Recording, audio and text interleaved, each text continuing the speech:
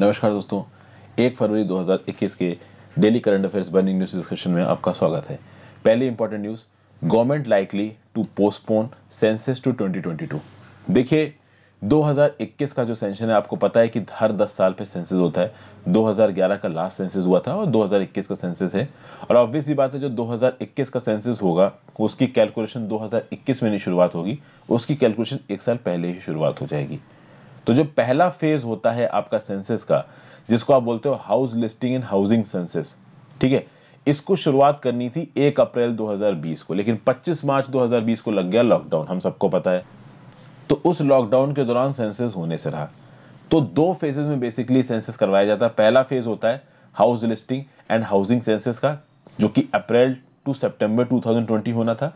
और दूसरा फ़ेज़ था पॉपुलेशन इन्यूमरेशन का, जो कि फेब्रवरी 9 टू 28 ऑफ़ फेब्रवरी 2021 होना था।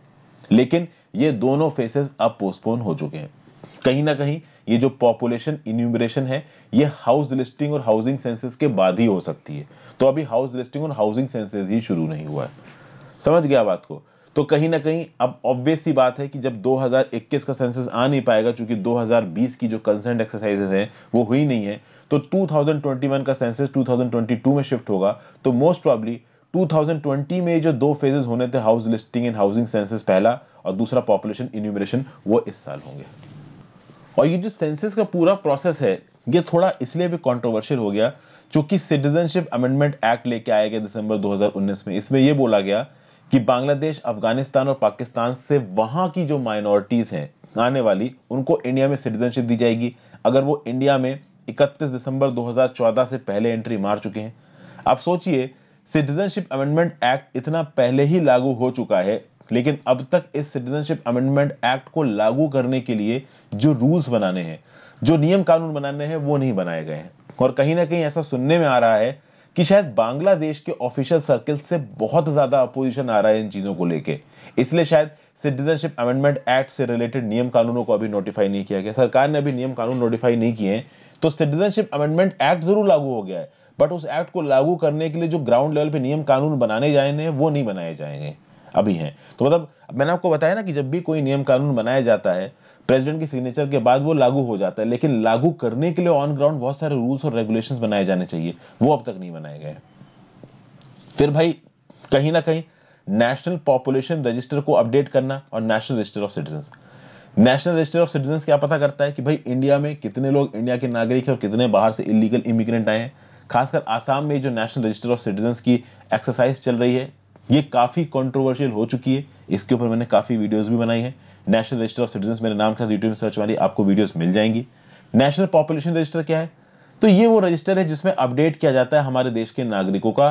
देश के नागरिक तो नहीं बोलना चाहिए, हमारे देश में जो लोग रह रहे हैं, ठीक है, जो हमारे देश में लोग रेजिडेंट हैं उनका डाटा आता है इस नेशनल पॉपुलेशन रजिस्टर में। और एनआरसी में जिसको नाम मिला मतलब वो देश का सिटीजन है और बाकी लोग इलीगल इमिग्रेंट हैं तो उनको देश के बाहर निकालना है। तो ओवरऑल इस एनपीआर और एनसीआर की जो पूरी की पूरी, आप कह सकते हो एक्सरसाइज है ना, वो बहुत ज़्यादा डिस्टर्ब हो गई है। बहुत ज़्यादा डिस्टर्ब हो गई है। लैंड बाउंड्री एग्रीमेंट एक लैंडमार्क एग्रीमेंट था। बट उसके बाद कितने लोग बांग्लादेश से इंडिया में एंट्री मारे हैं, कितने इलीगल माइग्रेंट हैं, फिर सिटीजनशिप अमेंडमेंट एक्ट आ गया। इन सब चीज़ों ने सिटीजनशिप के मुद्दे को ना काफ़ी ट्रिकी काफ़ी कॉन्ट्रोवर्शियल और काफ़ी पॉलिटिकल बना दिया है। तो कहीं ना कहीं ये सारे मुद्दे आपके सेंसस के साथ जुड़े हुए हैं। क्योंकि सेंसस में किसके नाम आएँगे, किसके नाम नहीं आएँगे, ये बहुत हद तक डिपेंड करेगा कि एनआरसी में किसको इंक्लूड किया गया, किसको नहीं इंक्लूड किया गया। सिटीजनशिप अमेंडमेंट एक्ट के थ्रू कौन सी बाहर की माइनॉरिटीज को इंडिया की सिटीजनशिप दी गई, नहीं दी गई। तो देखते हैं आगे क्या होता है। जनरल स्टडीज़ पेपर टू में गवर्नमेंटल या फिर गवर्नेंस एस्पेक्ट्स में पर्टिकुलर न्यूज़ आपको काम आएगी। आगे बढ़ने से पहले वीडियो पे लाइक का बटन और इस वीडियो को शेयर ज़रूर करिए सब्सक्राइब करिए कमेंट करके वीडियो का एंगेजमेंट बढ़ाइए। आपको सारी की सारी चीज़ें मैं फ्री ऑफ़ कॉस्ट अवेलेबल करवा रहा हूँ तो ज्वाइन बटन दबा के हेल्प भी कर सकते हैं। इंस्टाग्राम पे फॉलो कर लीजिए, आपकी जर्नी डॉट जवाब दूँगा टेलीग्राम ग्रुप ज्वाइन कर लीजिए। वहाँ पे आपको ये पर्टिकुलर लेक्चर की पीडीएफ मेरे एडिटोरियल डिस्कशन की पीडीएफ और बाकी जो करंट अफेयर्स की वीडियो बनाता हूँ, उनकी पीडीएफ मिल जाएगी। एक नई स्टडी कंडक्ट कराई गई है। किसके रिस्पेक्ट में? Medical termination of pregnancy amendment bill के रिस्पेक्ट में एमटीपी अमेंडमेंट बिल 2020 बोलते हैं। अब देखिए एमटीपी अमेंडमेंट बिल कहता क्या है? एमटीपी अमेंडमेंट बिल ने एक प्रपोजिशन इंक्लूड किया। इसने बोला कि भाई, हर स्टेट में और हर यूनियन टेरिटरी में और लोकल लेवल पे भी एक मेडिकल बोर्ड बनाया जाएगा। ये मेडिकल बोर्ड क्या करेगा? ये मेडिकल बोर्ड इस बात को डिसाइड करेगा कि वो लेडीज़ जिनकी प्रेगनेंसी 24 हफ़्ते से ज़्यादा की हो गई है, उनको अबॉर्शन की परमिशन दी जा सकती कि नहीं दी जा सकती वैसे तो 24 हफ़्ते के बाद का अबॉर्शन अलाउड ही नहीं है इंडिया में। बट मान लीजिए फीटस में कोई एबनॉर्मेलिटी है फीटस में जो बच्चा पैदा होगा माँ से, उसको इतनी गंदी बीमारी है कि उसकी ज़िंदगी का कोई मतलब नहीं है तो क्या उसको अबॉर्ट किया जा सकता है? इन सब चीज़ों को डिसाइड करने के लिए एक मेडिकल बोर्ड बनाया जाएगा। और वो मेडिकल बोर्ड इस बात पर राय देगा कि भाई, क्या 24 हफ़्ते के बाद अबॉर्शन हो सकता है या नहीं हो सकता है? इस मेडिकल बोर्ड में एक गायनाकोलॉजिस्ट होगा, एक सोनोलॉजिस्ट होगा, एक रेडियोलॉजिस्ट होगा, एक पेडेटिशियन होगा। स्टेट यूनियन गवर्नमेंट अगर कुछ और मेंबर्स प्रेस्क्राइब करेंगे तो वो भी होंगे। अब रिसेंटली जो स्टडी कंडक्ट हुई ना, इस स्टडी का ये बोलना है कि भैया, हमारे देश में specialist surgeon obstetricians gynaecologist physicians paediatricians इनकी ताकत वैसे ही कम है। और जिस हिसाब का ये medical termination of pregnancy amendment bill 2020 board बनाने की बात कर रहा है ना, वो बोर्ड बन ही नहीं पाएँगे। क्योंकि 82 परसेंट सीट फिल ही नहीं हो पाएँगी क्योंकि हमारे यहाँ पे है ही नहीं surgeon obstetricians gynaecologist paediatricians okay और अगर आप मान भी लो कि भाई आप ये बोर्ड्स बना दोगे तो वो बोर्ड बहुत ही ज़्यादा कम ऑक्यूपेशन के साथ काम करेंगे, वहाँ बहुत सारी वैकेंसीज होंगी और उन वैकेंसीज को आप भर नहीं पाओगे। ओवरऑल 2019 में देखा जाए तो भाई, इक्कीस हज़ार दो सौ छियानवे वैकेंसीज हैं इन पोस्ट की इंडिया में। किसकी किसकी? तो सर्जन ऑब्स्टिशियंस गायनेकोलॉजिस्ट इन सब पोस्ट की उनमें से आप कह सकते हो तीन हज़ार आठ सौ अस्सी भरी हुई है और बाकी सबका शॉर्टफॉल है। तो टोटल वैकेंसीज है twenty one thousand two hundred ninety six three thousand eight hundred eighty भरी हुई है eighty one point eight percent का शॉर्टफॉल है। मतलब क्या है? मतलब यह है कि इंडिया को बहुत अर्जेंट ज़रूरत है सर्जन्स की। ऑब्स्ट्रेशियंस की गायनोकोलॉजिस्ट की पेडिस्ट्रिशियंस की, जो बहुत काबिल होता है, देश छोड़ चले आते हैं। इंडिया में काम करने के इंसेंटिव्स कम है। उसके बीच में आप बोल रहे हो कि एमटीपी के अंदर एक ऐसा बोर्ड बनाएँगे, जहाँ पे 24 हफ़्ते से ज़्यादा प्रेग्नेंट वुमेन अपनी अर्जी डालेंगी कि हम अबॉर्शन कर सकते हैं कि नहीं कर सकते और अगर उसकी फीटस में प्रॉब्लम है तो अबॉर्शन हो जाएगा। ये चीज़ पॉसिबल नहीं है। पॉसिबल इसलिए नहीं है क्योंकि भाई इस प्रकार के बोर्ड बन नहीं पाएँगे, क्यों नहीं बन पाएँगे? क्योंकि इतने हमारे पास है ही नहीं है एक्सपर्ट्स सीधी सीधी बात कही जा रही है। उसके बाद नॉर्थ ईस्ट की हालत और खराब बताई जा रही है। सिक्किम, मिजोरम और मणिपुर जैसे स्टेट में तो ऑब्स्ट्रिशियंस गायनाकोलॉजिस्ट है ही नहीं। अरुणाचल प्रदेश और मेघालय में 100 परसेंट शॉर्टेज है पीडियट्रिशियंस की। और अगर एमटी बिल एमटी बिल को दूसरी तरीके से इन्फर किया जाए तो एमटीपी बिल एक राइट्स बेस्ड फ्रेमवर्क नहीं है। राइट्स बेस्ड फ्रेमवर्क मतलब क्या होता है कि हमारे पास ये राइट है कि हम अपने बच्चे को रखना चाहते हैं या हम अपने बच्चे को गिराना चाहते हैं। चौबीस हफ़्ते की प्रेगनेंसी के बाद अगर आपको बच्चे को गिराना है तो आपको इस एमटीपी बिल के अंदर बनी हुई कमेटी से पूछना पड़ेगा। और मेडिकल बोर्ड्स बहुत ड्रैकोनियन होते हैं, वो इंसान के प्राइवेट स्फीयर में इंटरफेयर करते हैं। तो एक माँ या एक कपल जो कि अपनी अर्जी लेके आएँगे कि भाई हमें 24 हफ़्ते के बाद बच्चे को गिराना है, वो अर्जी एक बार इस मेडिकल बोर्ड के पास पहुँच गई।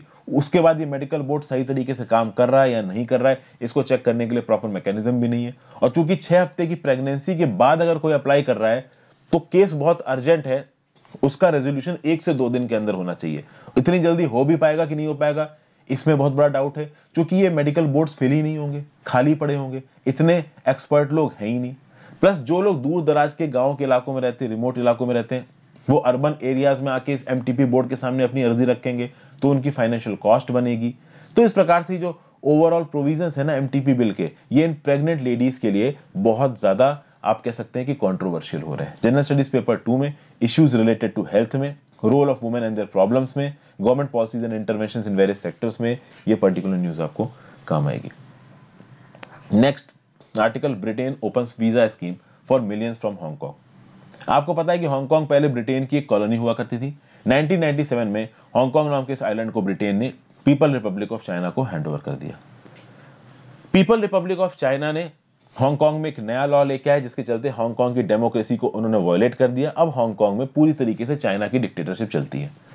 अब यहाँ पे ब्रिटेन ने बोला है कि हम मिलियंस ऑफ़ हांगकांगर्स को ब्रिटिश सिटीजन, ब्रिटिश सिटीजनशिप का ऑफ़र दे रहे हैं। क्योंकि ये हांगकांग नाम की कॉलोनी हमारी पहले थी, चाइना ने हमसे प्रॉमिस किया था 1997 में कि ये हांगकांग को एक डेमोक्रेसी बना के रखेंगे, लेकिन चाइना ने अपने प्रॉमिस से बैक ट्रैक कर लिया है।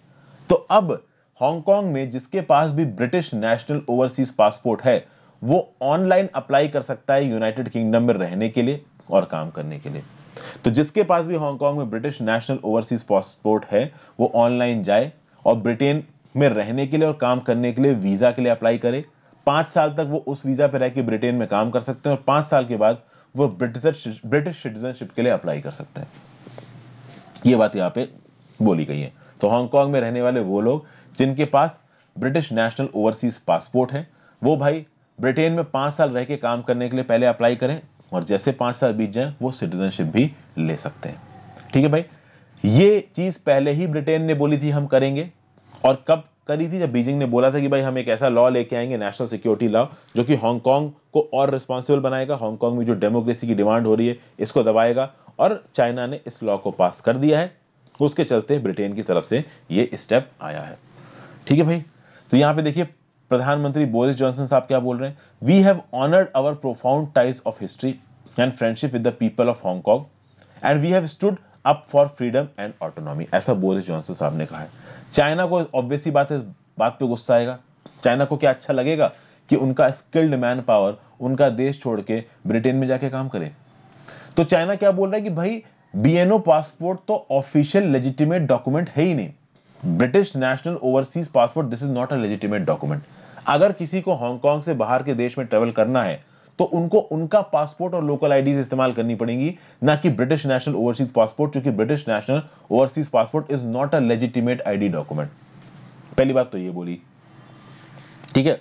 उसके बाद सुनने में यह भी हारा है कि बीजिंग चाइना हांगकांगर्स को छोड़ के ब्रिटेन में जाने नहीं देगा।